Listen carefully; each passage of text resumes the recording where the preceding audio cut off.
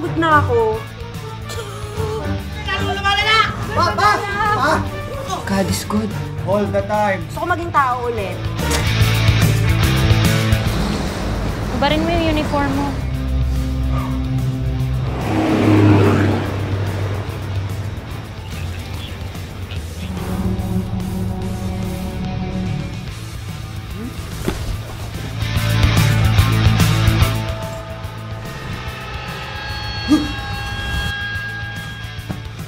Iniwan kami ng tatay ko nung 9 years old pa lang ako.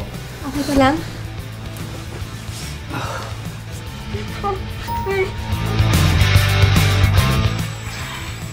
Ma, makasimpati ba po kami ng tatay ko? Hindi na maalala. Ikaw ba tatay ko? Ako nga pala si Betong. Pwede mo akong tawagin Bet o kaya Betly. Ako hari ng swerte. Kami ni Utol taga-ikot ng pulbos dito. Ako yung taga-hawak ng produkto at saka minsan yung pera.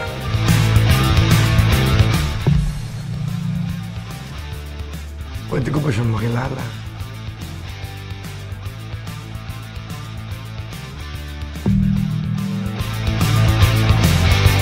Sa kabugay nga wala ko yung pangayo kag hindi ko ini mapaiway. Ang mga tao nagalaom nga ako makabulig sa ilang mga mapaayo ang ilang mga balatian.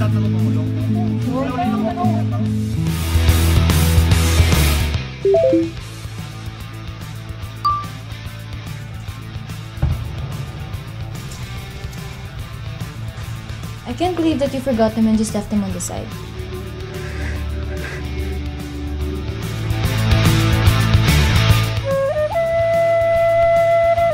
Welcome to Tubali. We're here to present to you the Kadal Tahaw. Oo, ang galing mo nga eh. Baka gusto mo sumayaw mamayang gabi. May kakilala ko naghahanap ng dancer.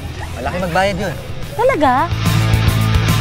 First of all, I am sorry to hear about your loss. And with that, we are here to deliver the best AI simulation of your wife, Katrina.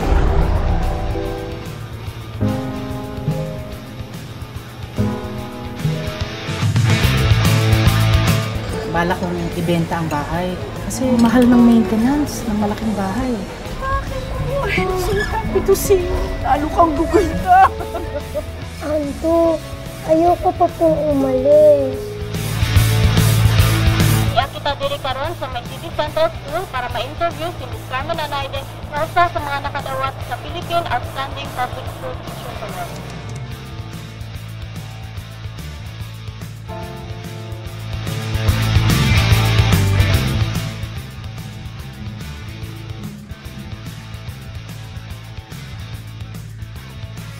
Sabi daw nila na hindi ka na raw darating.